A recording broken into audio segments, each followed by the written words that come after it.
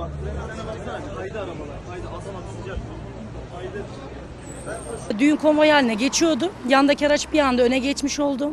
Ve öbür arabalar arka arkaya çarpışmış oldu. 8, araç falan vardı zannedersem. Şükür birisine bir şey olmadı. Ee, Ne anlamamız gerekiyor?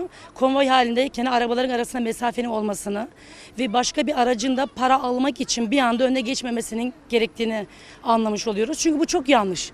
Araçlar mesela gidiyordu. Öbür araç bir anda para almak için büyük bir ihtimalle bir anda aracın önünde kırmış oldu direksiyonu. Şimdi ne oldu? 8 aracın kaza yapmasına sebep oldu. konvoy halinde olan araçlar öndeki gelin arabasının önünü kesmek için yeltendi. Gelin arabasının önünü kesince öbür arkadan gelen konvoy birbirine girdi.